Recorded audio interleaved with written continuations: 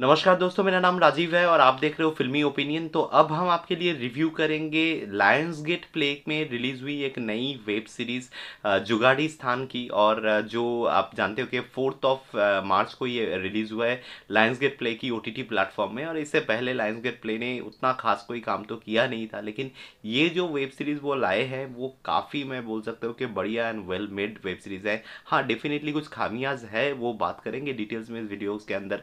लेकिन ये जो वेब सीरीज़ है, उनके पिछले वेब सीरीज़ जो हिकअप्स एंड हुकअप्स जो आया था, उससे काफ़ी बेहतर और काफ़ी आप बोल सकते हो कि रिजनेबल है। काफ़ी आप बोल सकते हो इसमें रियलिस्टिक कहानी दिखाई गई है।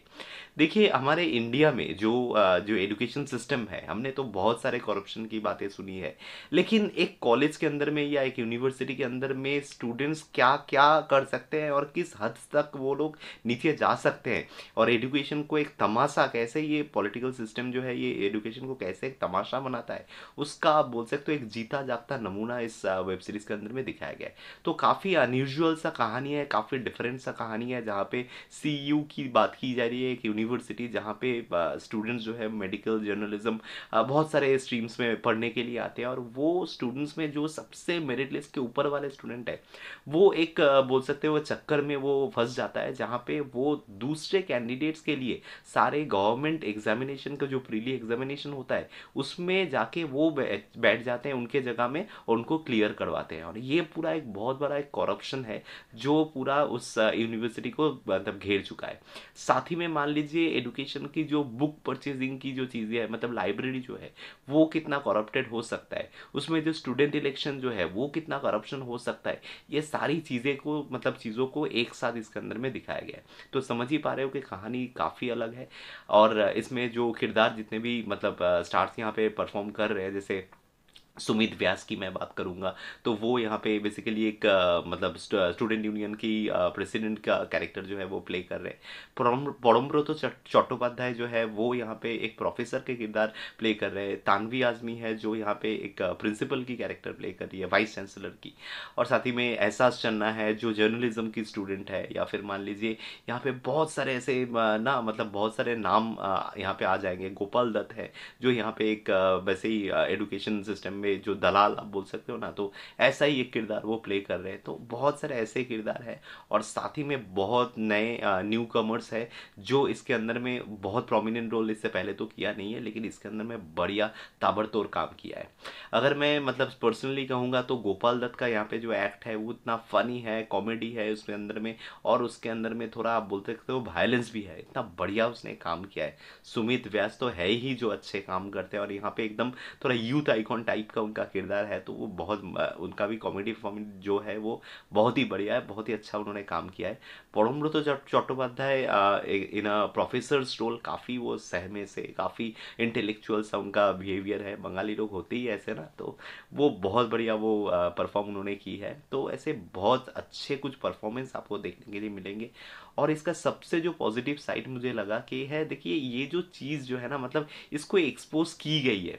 अर्जुन माथुर का एक कैरेक्टर है, जो इन्वेस्टिगेटिव जर्नलिस्ट का किरदार प्ले कर रहे हैं। तो उनके ज़रिया जो ये पूरा जो रैकेट है, उस रैकेट को बर्स्ट करवाया गया है।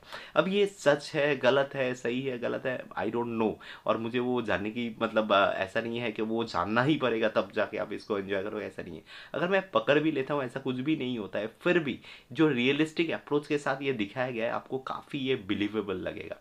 तो ये एक बहुत बड़ी बात है। साथ ही में स्टूडेंट इलेक्शन स्टूडेंट पॉलिटिक्स उसमें दो मतलब डिफरेंट ग्रुप का मतलब वो अपना जो आप बोल सकते हो, उसका जो मैनिफेस्टो है, उसको सामने रखते हुए किस तरीके से दो इलेक्शन लड़ रहे हैं, ये जो मतलब बचपन की सारी जो यादें हैं ना, ये फिर से आपके सामने उभर के आएगी आप आपका कॉलेज डेज़ जो है, उसको मिस करने लगोगे। तो ये काफ़ी वेल रिटर्न और मतलब इसका काफ़ी डायरेक्शन वगैरह जो है, काफ़ी बढ़िया है। इसका स्क्रीन प्ले जो है, वो भी बहुत ही बढ़िया लग रहा है। हाँ कुछ हद तक मैं कहूँगा कि इसका स्क्रीन प्ले जो है, वो काफ़ी लेंदी है।